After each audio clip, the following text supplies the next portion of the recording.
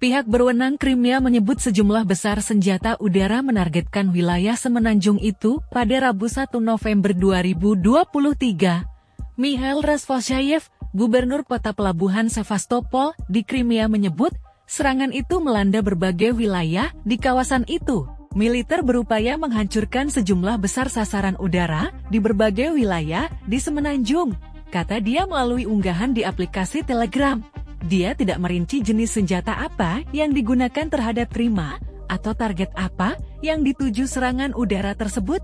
Dia juga tidak melaporkan kerusakan apa pun selama peringatan serangan udara selama dua jam. Rasvosheyev mengatakan pihaknya meminta para warga untuk berlindung karena ancaman serangan yang terus berlanjut.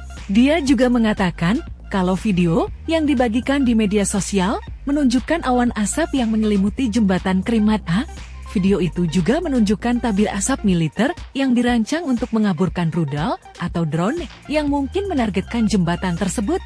Lalu lintas di sepanjang jembatan sempat dihentikan pada Rabu, tetapi kemudian kembali normal setelah peringatan serangan udara dicabut, menurut laporan Interfax. Sebelumnya pada Senin, Ukraina mengklaim telah menyerang bagian dari sistem pertahanan udara Rusia di Crimea Barat, Militer Rusia mengatakan unit pertahanan udaranya telah berhasil menembak jatuh 8 rudal jelajah Storm Shadow yang dipasok Inggris di Semenanjung yang dianeksasi. Pasukan Kiev telah meningkatkan serangan terhadap Crimea yang dianeksasi oleh Rusia pada tahun 2014 sejak negara itu melancarkan serangan balasan terhadap pasukan Rusia pada awal Juni tahun ini secara terpisah. Pada Rabu 1 21 2023 Ukraina mengatakan kalau Rusia telah menembaki lebih dari 100 permukiman di wilayah kedaulatan mereka selama 24 jam terakhir.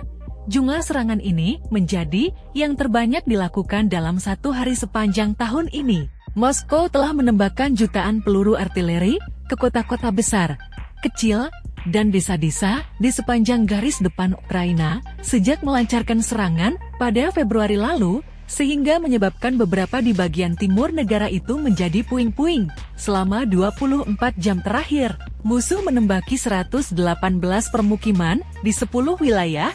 Ini adalah jumlah tertinggi kota dan desa yang diserang sejak awal tahun ini, kata Menteri Dalam Negeri Ukraina Ihor Klemenko dalam sebuah postingan di media sosial. Kiev juga melaporkan serangan Rusia terhadap kilang minyak di Kremenchuk, sebuah kota industri pusat. Tidak ada korban jiwa, namun dibutuhkan hampir 100 petugas pemadam kebakaran selama beberapa jam untuk memadamkan api, kata Klemenko, Kiev, dan negara-negara barat khawatir Rusia akan meningkatkan serangan mereka terhadap infrastruktur energi Ukraina menjelang musim dingin seperti yang dilakukan Moskow tahun lalu. Penembakan di wilayah timur laut Kharkiv pada selasa malam menewaskan satu orang dan seorang lainnya tewas di wilayah selatan Kherson, kata pejabat setempat. Angkatan Udara Ukraina pada Rabu juga mengatakan pihaknya menembak jatuh 18 dari 20 drone Rusia yang diluncurkan selasa malam, sementara Kementerian Pertahanan Rusia mengatakan pihaknya menembak jatuh dua drone Ukraina di wilayah Bryansk dan Kursk yang berbatasan dengan Ukraina. Download Tribun X sekarang, menghadirkan lokal menjadi Indonesia.